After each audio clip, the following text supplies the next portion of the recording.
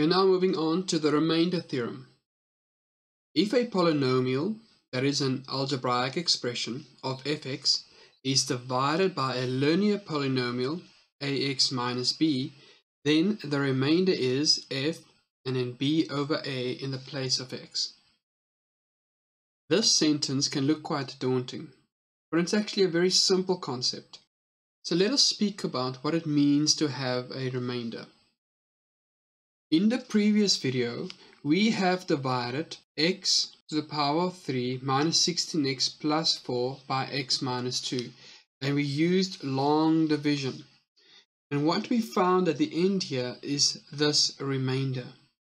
Now, what the remainder theorem says is we can find the value of this remainder without doing all of the long division.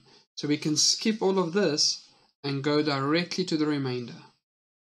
So the remainder theorem applied is I have fx, some sort of expression, and let's say I divide it by x plus 1. Then the remainder would be f minus 1. So in the place of x, I replace it with a negative 1. Let's work through a more practical example. Find the remainder if fx, which is equals to x cubed minus 2x squared plus 3x minus 12 is divided by x minus 2. We are not going to divide this, we are simply going to look for the remainder. So I take x minus 2 and I set it equal to 0. Then I solve x, so x is equal to 2. Then I substitute that value of 2, which comes from what I'm dividing by, into the expression given to me. Notice I'm not substituting with negative 2, but with a positive 2 because I set this equal to 0. So in the place of x, I have now positive 2 and I simplify.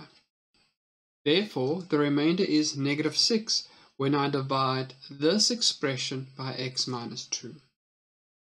You can also use the remainder theorem to find values of variables in the expression.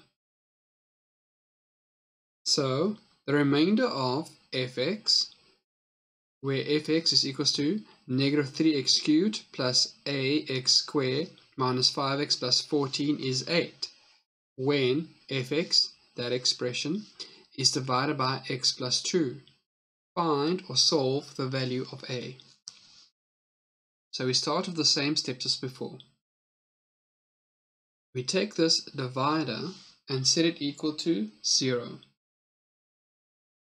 Then I solve x, which is negative 2. I substitute the value of negative 2 in the expression of fx.